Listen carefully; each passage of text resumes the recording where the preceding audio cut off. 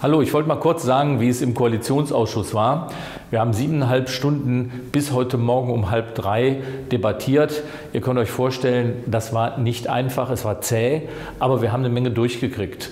Wir haben auf der einen Seite erstmal hingekriegt, dass Deutschland mitmacht bei der Koalition der Willigen und dass 1000 bis 1500 kranke, unbegleitete Kinder auf den griechischen Inseln, die unter unwürdigen Bedingungen da leben, äh, eine neue Heimat bekommen können. Wir sind dabei. Horst Seehofer muss in dieser Woche klarstellen, wie es genau geht. Aber die Grundaussage ist gegen CDU und CSU nicht einfach durchzusetzen gewesen. Der zweite Punkt ist Corona. Wir sind, was die Gesundheits, äh, das Gesundheitswesen angeht, gut aufgestellt. Ähm, aber wir müssen darauf achten, dass wir alle äh, mit Hygiene, mit allem, was möglich ist, dafür sorgen, dass sich äh, das Virus nur langsam ausbreiten kann. Das ist schon eine große Hilfe. Wichtig ist, dass die Wirtschaft jetzt nicht einknickt. Das heißt, wir müssen sicherstellen, Arbeitsplätze müssen gesichert bleiben. Hubertus Heil hat jetzt neue Instrumente an der Hand für die Kurzarbeit.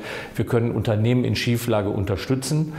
Und das Dritte ist, wir haben immer gesagt, wir brauchen ein massives Investitionsprogramm in Schulen, in Straßen, in Krankenhäuser, in Sportstätten. Dafür haben wir die Weichen gestellt. Wir haben gemeinsam festgestellt, dass eine halbe Billion in den nächsten zehn Jahren nötig ist, dass diese Mittel stetig laufen müssen und dass sie vor allen Dingen über die Zeit aufwachsen müssen, damit Planungsbehörden und damit die Wirtschaft kalkulierbar, äh, kalkulierbare Grundlagen haben. Ich glaube, das war es wert, sich einzusetzen, dass am Ende CDU und CSU es verhindert haben, dass wir den Soli schon ein halbes Jahr früher für 90 Prozent der Bevölkerung abschaffen. Das ist eigentlich ein Unding. Die, die gerade immer sagen, sie wollten die arbeitende Mitte entlasten, haben absolut blockiert. Das solltet ihr auch wissen und das solltet ihr anderen auch sagen.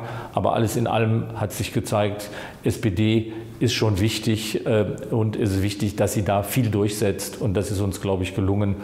Und jetzt hatten wir drei Stunden Schlaf und den Rest müssen wir jetzt anschließend machen.